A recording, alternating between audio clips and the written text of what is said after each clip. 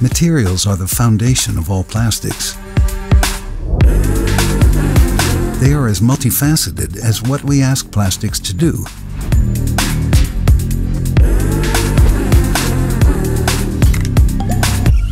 Always assuming that the mixture is right and contains the right materials. But what does it all come down to? What constitutes true material expertise?